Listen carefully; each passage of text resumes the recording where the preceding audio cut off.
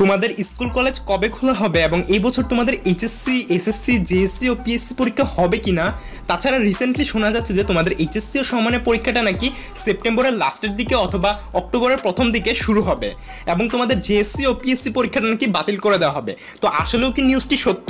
তো আজকের ভিডিওতে তোমাদের এই বিষয়টি সম্পূর্ণ ক্লিয়ার করে বুঝিয়ে দিব। তাছাড়া ভিডিও লাস্টে থাকবে শিক্ষামন্ত্রী দেওয়া তোমাদের জন্য দুটি দারুণ সুসংবাদ ও একটি মারাত্মক দুঃসংবাদ।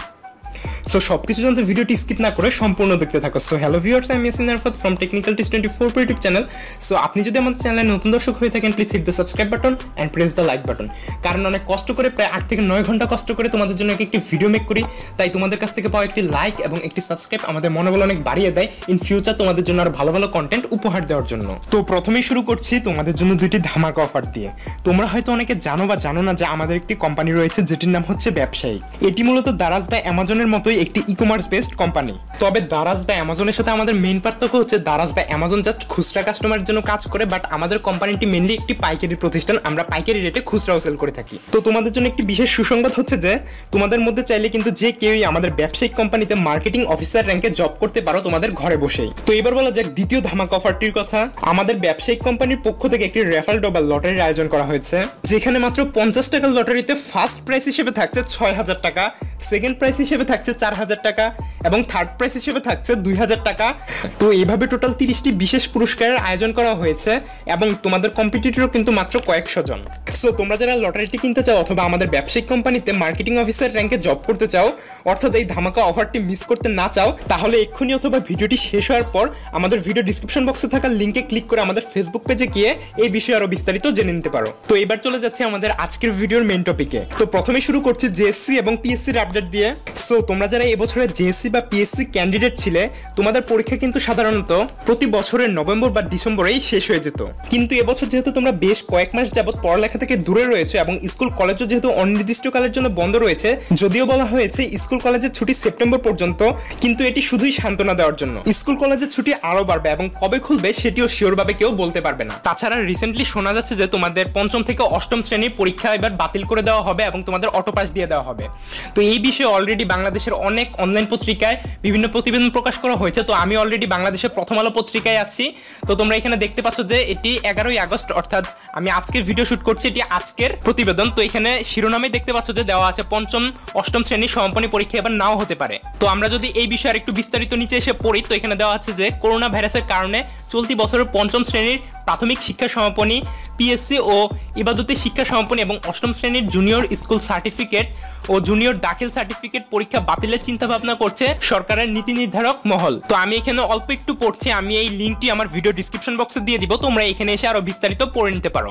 তো আমি যেটুকু পড়লাম, তোমরা হয়তো এটুকু শুনেই কিছুটা আন্দাজ করতে পারছ যে এবছর তোমাদের পিএসসি অথবা জিএসসি পরীক্ষা হবে কিনা? তো ইনশর্ট যদি আমি তোমাদের পিএসসি এবং জিএসসি পরীক্ষার সর্বশেষ আপডেটের কথা বলি, তো এইটাই যে তোমাদের পিএসসি এবং জিএসসি পরীক্ষা বাতিলের পরিকল্পনা করছে শিক্ষা বোর্ড। তো এবার বলা যাক তোমাদের স্কুল, কলেজ বা শিক্ষা প্রতিষ্ঠানগুলো কবে খুলে দেওয়া হবে এবং এটি বলার পর তোমাদের জানাব, তোমাদের এইচএসসি ও সমানের পরীক্ষাটা কি সেপ্টেম্বরের লাস্টের দিকে অথবা অক্টোবরের প্রথম দিকে শুরু হবে কিনা? তো তোমাদের স্কুল, কলেজ কবে খুলে দেওয়া হবে? তো এর আনসার যদি এক কথায় বলি, তাহলে তোমাদের করোনা ভাইরাসের পরিস্থিতি যখন স্বাভাবিকে নেমে আসবে, অর্থাৎ এখন যেমন পার ডে দুই হাজার, তিন হাজার বা সাড়ে তিন হাজার করে আক্রান্তের সংখ্যা পাওয়া যাচ্ছে, যখন তোমাদের আক্রান্তের সংখ্যা আশি বা নব্বইতে নেমে আসবে, তখন তোমাদের স্কুল কলেজ খুলে দেওয়া হবে। আর যদি এই পরিস্থিতিতে স্কুল কলেজ খোলাও হয় তাহলে সেটা দীর্ঘস্থায়ী হবে না। পনেরো বা বিশ দিন পরে আবার ওটা বন্ধ করে দেওয়া লাগবে। কারণ বর্তমানে বিশ্বে এমন অনেক দেশ আছে যেগুলো করোনা ভাইরাসের এই পরিস্থিতির মধ্যেই তাদের স্কুল, কলেজগুলো খুলে দিয়েছিল এবং খুলে দেওয়ার পর করোনা পরিস্থিতি আরও ভয়ানক আকারে বাড়তে শুরু করেছিল, যার কারণে সেসব দেশ বাধ্য হয়ে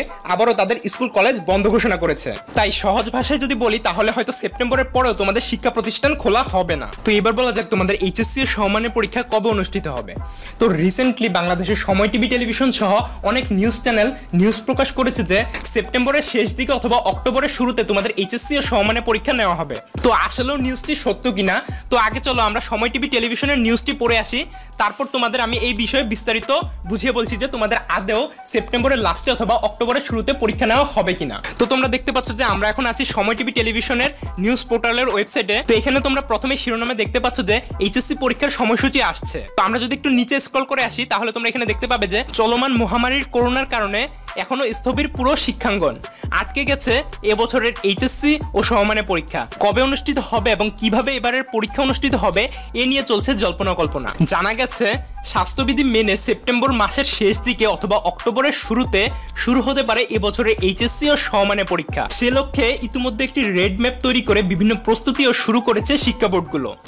নাম প্রকাশে অনিচ্ছুক, ঢাকা শিক্ষা বোর্ডের এক কর্মকর্তা গণমাধ্যমকে বলেন, বর্তমানে সবকিছু সচল হচ্ছে। আগামী সেপ্টেম্বরের শেষ দিকে অথবা অক্টোবরের শুরুতে এইচএসসি ও সমানের পরীক্ষা আয়োজনের লক্ষ্যমাত্রা নিয়ে নতুনভাবে প্রস্তুতি শুরু করা হয়েছে। স্বাস্থ্যবিধি নিশ্চিত করতে পরীক্ষা কেন্দ্রের সংখ্যা বাড়ানো হবে। এজন্য শিক্ষা বোর্ডের নির্ধারিত কেন্দ্রের বাইরে পার্শ্ববর্তী ভালো শিক্ষা প্রতিষ্ঠানের তালিকা চাওয়া হয়েছে। নতুনভাবে কেন্দ্র গড়িয়ে সেসব শিক্ষা প্রতিষ্ঠানে পরীক্ষার আয়োজন করা হবে। এবছরের পহেলা এপ্রিল এসএসসি সমমানের পরীক্ষা শুরু হওয়ার কথা ছিল। তবে করোনার কারণে এই পরীক্ষার সময়সূচি স্থগিত করতে বাধ্য হয় শিক্ষা মন্ত্রণালয়। স্থগিত পরীক্ষার পরবর্তী সময় ঘোষণা না করায় অনিশ্চয়তায় দিন পার করছিল প্রায় বারো লাখ শিক্ষার্থী। জানা গেছে, পরীক্ষার কেন্দ্রগুলোতে স্বাস্থ্যবিধি নিশ্চিত করে এইচএসসি সমমানের পরীক্ষার আয়োজন করা হবে। পরীক্ষার হলে পরীক্ষার্থী কমিয়ে একটি বেঞ্চে একজন করে বসানো হবে। ক্লাসরুমে যতগুলো বেঞ্চ থাকবে, ততগুলো পরীক্ষার্থীর সিট নির্ধারণ করা হবে। কোনো কেন্দ্রে পরীক্ষার্থীর সংখ্যা বেশি হলে পার্শ্ববর্তী ভালো প্রতিষ্ঠানগুলোকে কেন্দ্র হিসেবে বিবেচনা করা হবে। পরীক্ষা কেন্দ্রগুলোর গেটের বাহিরের সামনে হ্যান্ড স্যানিটাইজার রাখা হবে। পরিদর্শক ও পরীক্ষার্থীরা ভালোভাবে হাত পরিষ্কার করে ভেতরে প্রবেশ করবে। তো এটি ছিল এখনকার মতো সময় টিভি টেলিভিশনের এইচএসসি সমমানের পরীক্ষার লেটেস্ট আপডেট তো এখন কথা হচ্ছে এই প্রতিবেদন অনুযায়ী আসলেই কি তোমাদের এইচএসসি সমমানের পরীক্ষাটা সেপ্টেম্বরের লাস্ট অথবা অক্টোবরের শুরুতে শুরু হবে কিনা? তো এর আনসার যদি আমরা একটু যুক্তি দিয়ে ভাবি তাহলে খুব সহজে বোঝা যায়। তো সময় টিভি টেলিভিশনের এই প্রতিবেদনে যেমনটি বলা হয়েছে যে বর্তমানে করোনা ভাইরাসের পরিস্থিতি কিছুটা স্বাভাবিকে নেমে এসেছে, তো আসলেও কি বিষয়টা তেমন? না, আদৌ বিষয়টা কিন্তু তেমন না। আগে যেমন করোনা ভাইরাসের আক্রান্তের সংখ্যা পার ডে তিন হাজার, চার হাজার করে পাওয়া যেত এখন হয়তো কিছুটা কম পাওয়া যাচ্ছে, কিন্তু তার কারণ রয়েছে। আগে তোমাদের করোনা ভাইরাসের পরীক্ষার হার অনেক বেশি ছিল, যেমন আগে পার ডে করোনা ভাইরাসের পরীক্ষা করা হতো পনেরো বা ষোলো হাজার, এখন সেটা বর্তমানে করা হচ্ছে পাঁচ, ছয় বা সাত হাজার। যার কারণে তোমাদের করোনা ভাইরাসের শনাক্তের হার কিছুটা কমে এসেছে, যা থেকে বলা হচ্ছে যে তোমাদের করোনা ভাইরাসের পরিস্থিতি কিছুটা স্বাভাবিকে নেমে এসেছে। কিন্তু যদি বাস্তব অবস্থা বিবেচনা করি, তাহলে কিন্তু বিষয়টা আগের চেয়েও ভয়াবহ আকার ধারণ করেছে। তাছাড়া আরেকটা বিষয়, যেমনটা এখানে বলা হয়েছে যে পরীক্ষা হলগুলোর বাইরে হ্যান্ড স্যানিটাইজার রাখা হবে, একটি সিটে একজন করে বসানো হবে, তো এমন করে কি করোনা ভাইরাস ঠেকানো সম্ভব? আর আমরা যদি ধরেও নেই যে সকল পরীক্ষা কেন্দ্রগুলোতে স্বাস্থ্যবিধি মেনে পরীক্ষা নেওয়া হবে, অর্থাৎ আমরা যদি সকল পরীক্ষার্থীদের কথা বাদ দেই জাস্ট আমরা যদি গার্জিয়ানদের কথা ভাবি, তোমরা নিশ্চয়ই জানো যে এমন একটি পাবলিক পরীক্ষায় সকল পরীক্ষা কেন্দ্রগুলোর বাহিরে প্রায় হাজার হাজার গার্জিয়ানদের ভিড় জমা হয়। তো সেই ক্ষেত্রে না হয় জাস্ট পরীক্ষার্থীদের স্বাস্থ্যবিধি মেনে পরীক্ষা হলে ঢোকানো হবে, কিন্তু পরীক্ষা কেন্দ্রগুলোর বাহিরে যেখানে হাজার হাজার গার্জিয়ানদের ভিড় জমা হবে, সেখানে কীভাবে স্বাস্থ্যবিধি মেনটেন করা হবে? তো তোমরা নিশ্চয়ই এই একটা বিষয় থেকে পরিকল্পনা করতে পারছ যে এমন একটি পাবলিক পরীক্ষা যদি এই পরিস্থিতিতে অনুষ্ঠিত করা হয়, তবে মুহূর্তের মধ্যে ফুল দেশে করোনা ভাইরাসের পরিস্থিতি আরও ভয়াবহ আকারে ছড়িয়ে পড়বে। তাছাড়া আমি যদি আমার পার্সোনাল মতামত বা অপিনিয়ন তোমাদের সাথে শেয়ার করি, সেটি হচ্ছে সেপ্টেম্বরের লাস্টে অথবা অক্টোবরের শুরুতেও তোমাদের এইচএসসি ও সমানের পরীক্ষাটা শুরু না হওয়ার সম্ভাবনাই ninety nine point nine percent আর আমি তো আজকের ভিডিও শুরুতেই বলেছিলাম, যতদিন না করোনা ভাইরাসের আক্রান্তের সংখ্যা পার ডে আশি বা নব্বইতে নেমে আসছে, ততদিন পর্যন্ত তোমাদের স্কুল প্রতিষ্ঠানও খোলা হবে না, ততদিন পর্যন্ত তোমাদের কোনো পাবলিক পরীক্ষাও অনুষ্ঠিত হবে না। কারণ আমাদের মাননীয় শিক্ষা বোর্ড অথবা শিক্ষামন্ত্রী কখনোই বারো লাখ শিক্ষার্থীর জীবন ঝুঁকির মধ্যে ফেলবে না। তো এবার বলা যাক, তোমরা যারা দুই হাজার একুশ সালে এসএসসি ও সমানে পরীক্ষা দিবে, তোমাদের পরীক্ষাটা টাইম মতো হবে কিনা? তো এর আনসার হচ্ছে না, তোমরা যারা দুই হাজার একুশ সালে এসএসসি ও সমানে পরীক্ষা দিবে, তোমাদের পরীক্ষাটা টাইম মতো হবে না, তোমাদের পরীক্ষাটা মিনিমাম দুই বা তিন মাস পিছিয়ে যাবে। অর্থাৎ যেখানে তোমাদের পরীক্ষাটা ফেব্রুয়ারি মাসেই শুরু হতো, সেখানে তোমাদের পরীক্ষাটা এপ্রিল বা মে মাসের দিকে শুরু হবে। তবে তোমাদের জন্য একটি সুসংবাদ হচ্ছে যে তোমাদের হয়তো সিলেবাস কিছুটা কমিয়ে এনে তোমাদের পরীক্ষা নেওয়া হতে পারে। তো ওভারঅল এই ছিল আজকের ভিডিওতে, তো ভিডিওটি ভালো লাগলে একটি লাইক দিতে ভুলবেন এবং চ্যানেলটি সাবস্ক্রাইব করে আমাদের পাশেই থাকো। আর তোমরা যারা লটারিটি কিনতে চাও অথবা আমাদের ব্যবসায়িক কোম্পানিতে মার্কেটিং অফিসার র্যাঙ্কে জব করতে চাও, তোমরা এই ভিডিও ডিসক্রিপশন বক্সে দেখো, আমাদের অফিসিয়াল ফেসবুক পেজে লিঙ্ক দেওয়া আছে। তোমরা সেখানে ক্লিক করে আমাদের ফেসবুক পেজে গিয়ে এই বিষয়ে আরও বিস্তারিত জেনে নিতে পারো। তো সবাই ভালো থাকো, সুস্থ থাকো, আসসালামু আলাইকুম।